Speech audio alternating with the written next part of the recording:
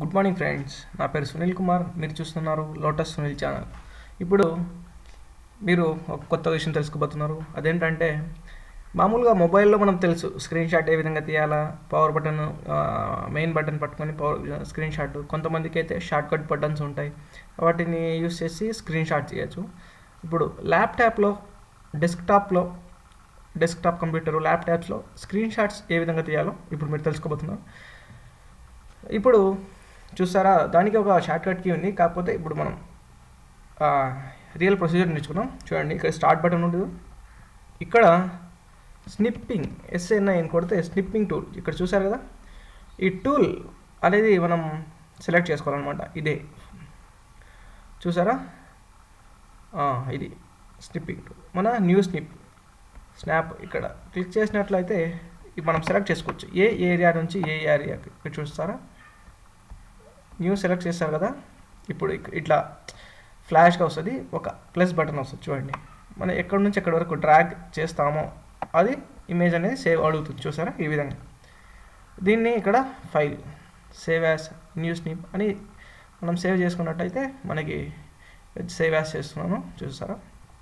So అడుగుతుంది capture save అని కొట్టు. కొట్టిన తర్వాత మనకి అది సేవ్ అయి ఉంటుంది. ఇక్కడ క్లోజ్ చేసి మనం చూసినట్లయితే చూడండి.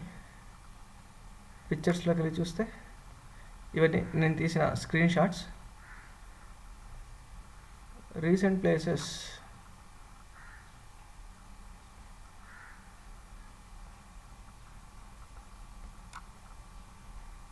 so ఆ విధంగా అవి సేవ్ అవుతాయి అన్నమాట ఇంకోటి తీసి చూద్దాం. అది ఎక్కడ వెళ్ళినట్టుంది. Hmm, ఇక్కడే ఉంది చూడండి. ఇక్కడ. సేవ్ స్నాప్ చూసారా? ఇక్కడ డెస్క్టాప్ మీద పెడదాం. Desktop capture save already exist అని చూపిస్తుంది కదా? అప్పుడు మనం ఏం చేయాలంటే దాన్నే ఓకే చేయాలి. చేస్తే ఇక్కడ చూడండి. చూస్తే మనకి